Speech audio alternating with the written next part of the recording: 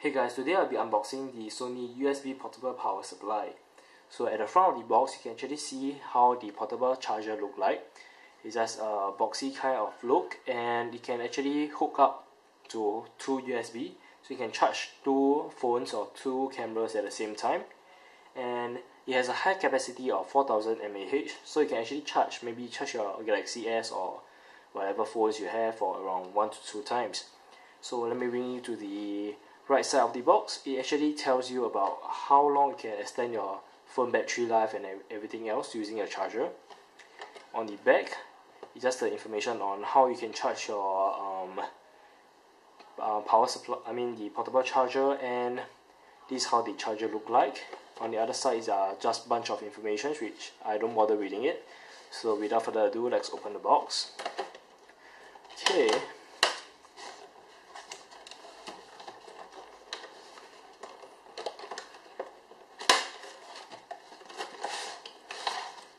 okay so once you open the box you have a bunch of information for you to read. So um, this should be the user manual and um, maybe some information on how you can use the power supply which I'm not going to read. Uh, you're going to throw it one side. And let's go and open the box. Once you open it up you actually have the power cord for you to charge your uh, for, for you to charge your portable charger. And over here you actually have a USB to micro USB to charge your phone. And here is the charger. Let me pull this out. And so this is how it looks like. So let's have a closer look to it. Taking a look at the portable charger it looks relatively big but this thing can actually be removed. So as you guys had expected this is actually the charging module Well, this is actually the um, charger that actually holds the charge. So um, this is the thing that you're going to bring along to charge your phone. So let me go through um, the charging module. So this is actually the charging module for your um, portable charger. So you use this to charge this thing. So um, as you can see this this thing is relatively small and there's some pin at the bottom. And um, this is actually made in China.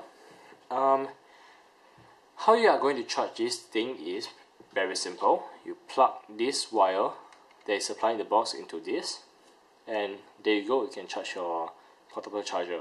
So to charge this thing is very simple. Just plug this in and you can charge the portable charger. So once you are done you can just plug this out and you can just bring it along with you. So this is actually the thing that holds the charge. And let me compare the size with a phone as you can see the charger is relatively small when you look at it like this.